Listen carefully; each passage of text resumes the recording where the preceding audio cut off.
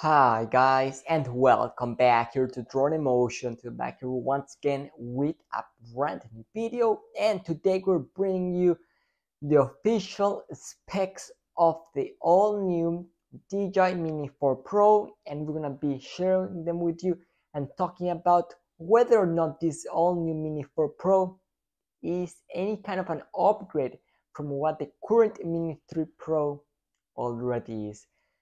But before we get started with today's you're new to the channel, welcome here.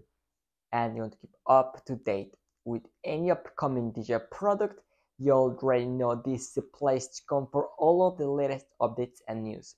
So with that being said, let's just go ahead and get started with today's video, which will be rather exciting, and that is because today, thanks to our great friend Igor Bogdanov, yet again we received the official specs of the all-new Mini 4 Pro.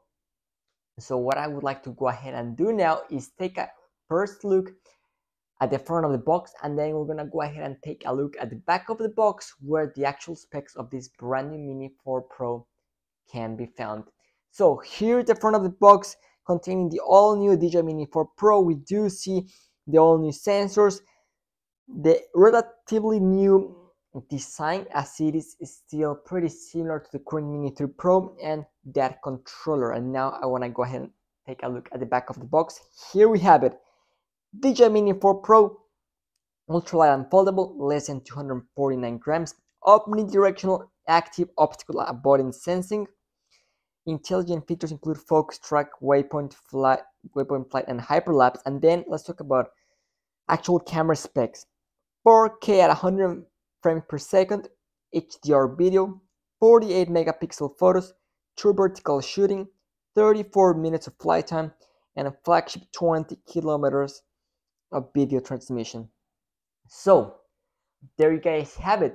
Those are the specs for this new Mini 4 Pro.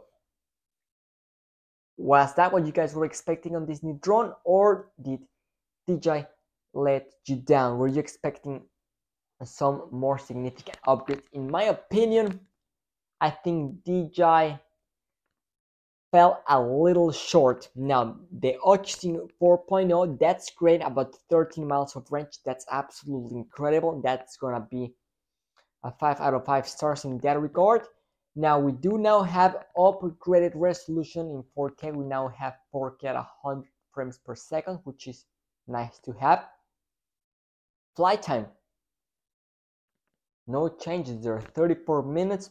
I was expecting a little bit of an upgrade to be honest there with you, but DJI decided to leave it just like it was on the Mini 3 Pro. And obviously, the 360 degree optical avoidance sensor, yeah, that's nice. But once you've been flying for a while and you're no longer a beginner, you honestly don't really need 360 degree optical avoidance, and especially when flying in sport mode, those sensors are going to be disabled, so that's really not at least for intermediate pilots, I don't think that's going to be a huge deal. That's going to make them upgrade from their Mini 3 Pro to the Mini 4 Pro. And the last thing, this controller.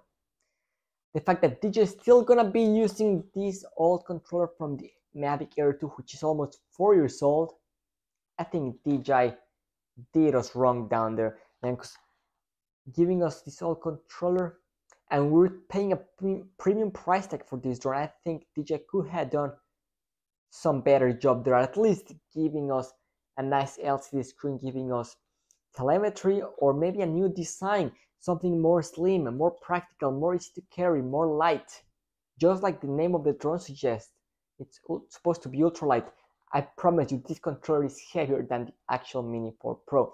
But that's just me. I don't know if you guys feel the same way in terms of the controller. I think DJI could have done a better job there.